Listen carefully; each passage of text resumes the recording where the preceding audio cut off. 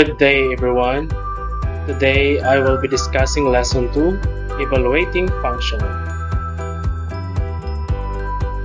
Let's have the lesson objective. At the end of this lesson, you are able to evaluate function. Let's have the definition of evaluating a function. It means replacing the variable in the function. In this case x with a value from the function's domain and computing for the result. So to denote that we are evaluating f at a for some a in the domain of f. So we write as f of a. So take note class that the keyword here in evaluating a function is replacing the variable in the function with a value from the function's domain and computing of course for the result okay? Let's have function notation.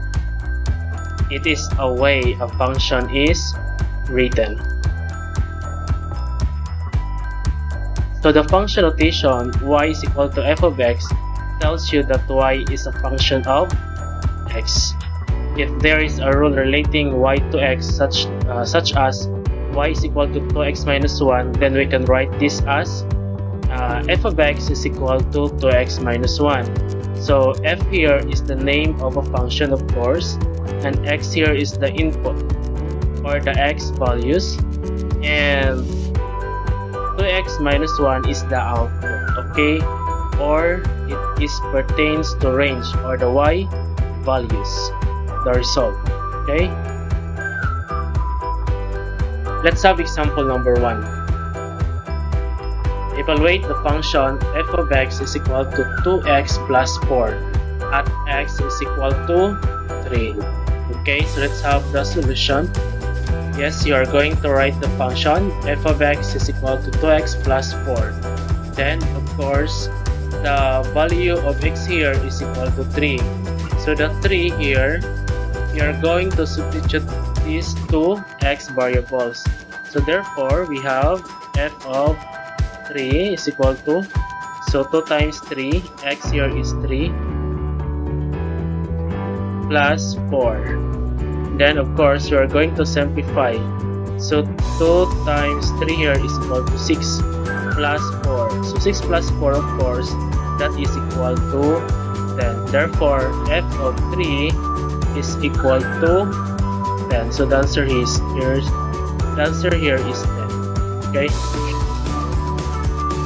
Example number 2. Evaluate a function. For the following functions at x is equal to 2.5. Okay, letter A, we have f of x is equal to 2x plus 1. Letter B, q of x is equal to uh, x squared minus 2x plus 2. The letter C, we have g of x is equal to square root of x minus 1.5 and letter D r of x is equal to 2x plus 1 all over x minus 1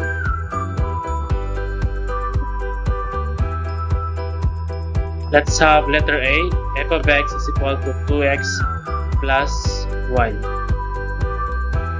so again the x is equal to 2.5 of course 2.5 is substituted to x variable. So we have f of x, uh, f of 2.5 is equal to 2 times. So x here is 2.5. So substitute 2.5. So variable x plus 1. Then of course simplify. So 2 times 2.5 is equal to 5. Then plus 1. So 5 plus 1 the answer is 6. So f of 2.5 is equal to 6. That's the answer. Okay.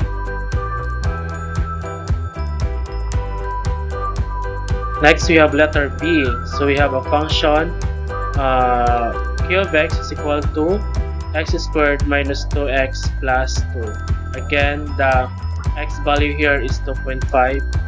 So 2.5 is will be substituted to the variable x. So we get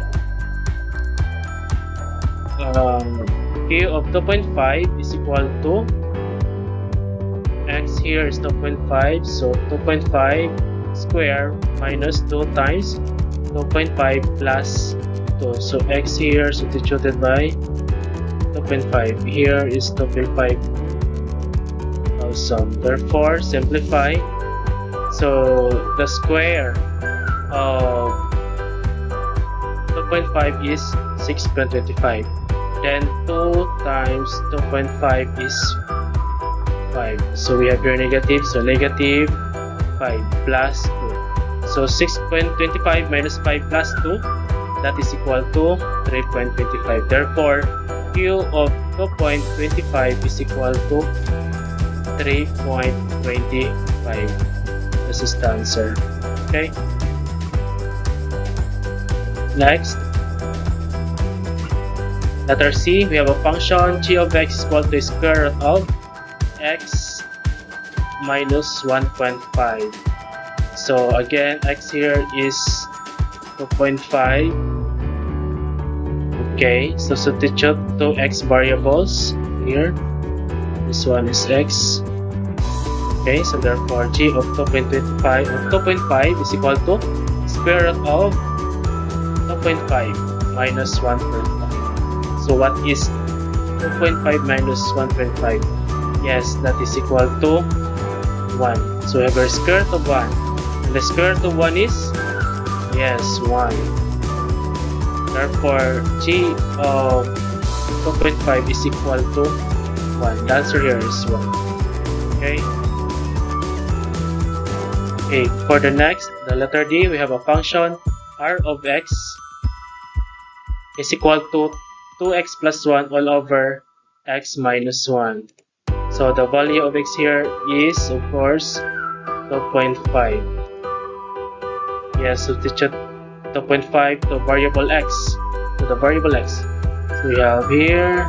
Okay so r of 2.5 so we have 2 times 2.5 because x 2 times x here. So substitute x of 2.5 plus 1 all over x here substitute here. Okay so 2.5 minus 1 then simplify. So 2 times 2.5 here. 2 times 2.5 is 5 plus 1 we have here 6 2.5 minus 1 is 1.5 then divide. 6 divide 1.5 so that is equal to 4 therefore the answer here is 4 r of 2.5 is equal to 4 okay? Okay, let's have example number 3. So the given here is g of x equal to the square root of x minus 1 and r of x is equal to 2x plus 1 all over x minus 1. We are going to find g of negative 4 and r of 1. So first we are going to get uh, g of negative 4. So the name of the function here is g. Of course, we use um, yes this one g of x is equal to the square root of x minus 1 we use this function g function okay so yes we have here g of negative 4 is equal to the square root of negative 4 minus 1 we are going to replace negative 4 to the variable x here okay? Replace. Then simplify square root of negative 4 minus 1 so we have here negative 5 so we have the square root of negative square root of negative 5 g of negative 4 is equal to the square root of negative 5 is the is this our final answer? Or is the answer acceptable? Or the answer is possible? Okay let's find out. Yes this is not possible. Why? Because negative 4 is not in the domain of g of x. Okay okay next we are going to find r of 1 so since the name of the function is r we get or we use r of x is equal to 2x plus 1 all over x minus 1 we are going to use this uh, function to find r of 1 okay? So substitute 1 to the variable x so we get r of negative 1 uh, r of 1 is equal to 2 times 1 substitute um, 1 to the variable x okay? So plus 1 and x minus 1 here so x becomes 1 so 1 minus 1 then simplify. So 2 times 1 is 2 plus 1 3 okay? 3 then 1 minus 1 is uh, 0 then 3 divided 0 is?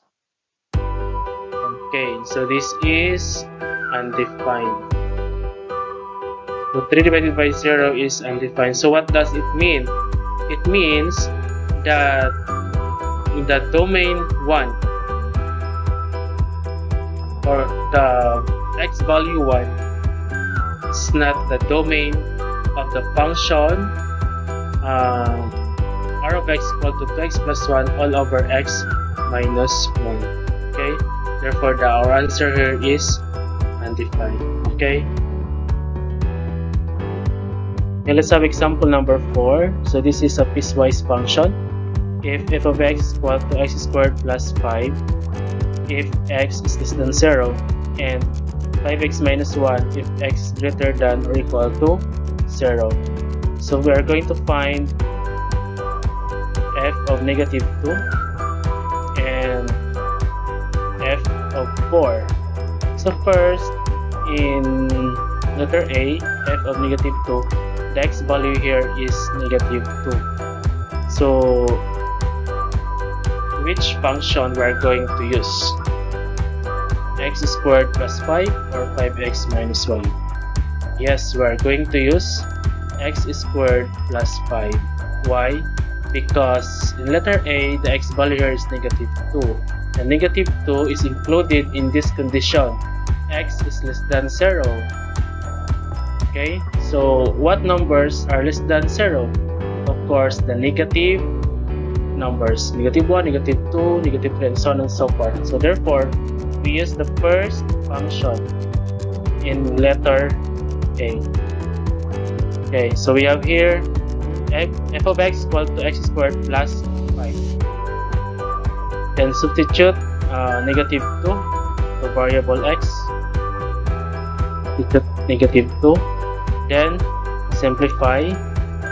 So negative 2 squared, so that is positive 4 because negative 2 times negative 2 is positive 4 plus 5. So 4 plus 5 that is equal to 9. Therefore, f of negative 2 is equal to 9. This is the answer. How about letter B? Here, the letter B. So, f of 4. So, the x value here is 4. So, what function we're going to use? x squared plus 5 or 5x minus 1? Yes, 5x minus 1. Why? Because x value here is 4. So, the condition if x greater than or equal to 0. And what numbers are greater than 0? Of course, the positive uh, numbers. Therefore, we use the second function for letter B. So, we have here 5x uh, f of x is equal to 5x minus 1 then we have substitute for the variable x. Okay substitute. Then simplify. So 5 times 4 is 20 then minus 1 so 20 minus 1 is equal to 19 okay so therefore f of 4 is equal to 19 the final answer is 19 okay example number 5 let f of x is equal to x squared plus 5x minus 3 and g of x equal to 2x plus 3. find each of the following. Letter A, f of 2b. Letter B, g of a plus 1. Okay, so for letter A, we are going to use the function uh, f of x is equal to x squared plus 5x minus 3y because in letter E here, the name of the function here is f. Okay, so next yes substitute 2b here 2b to variable and x becomes 2b then x here becomes 2b then simplify. So we get so here 2b the quantity of 2b squared this is equal to 4b squared. So 2 raised to 2 is 4 and b raised to 2 that is b squared. Then 5 times 2 is equal to 10 so 10b then minus 3 so this is now the final answer. So we have here f of 2b is equal to 4b squared plus 10b minus 3 Okay, for letter B, so we have here g of a plus 1. So what function we're going to use? Yes, we get, uh, we're going to use g of x is equal to 2x plus 3. So the name of the function here is g, therefore we use g of x. Next, yes uh, substitute a plus 1 the variable x okay? So this one x so becomes a plus 1 then this one we're going to simplify. So we have here uh, 2 times a is equal to 2a 2 times 1 is equal to 2 plus 3 then combine similar terms. Therefore, we get 2a plus 5 because 2 plus 3 here is equal to 5. So the final answer, we have here g of a plus 1 is equal to 2a plus 5. So the answer is 2a plus 5. Okay, class? So for the references, here are the references of our discussion for today. And thank you. God bless everyone.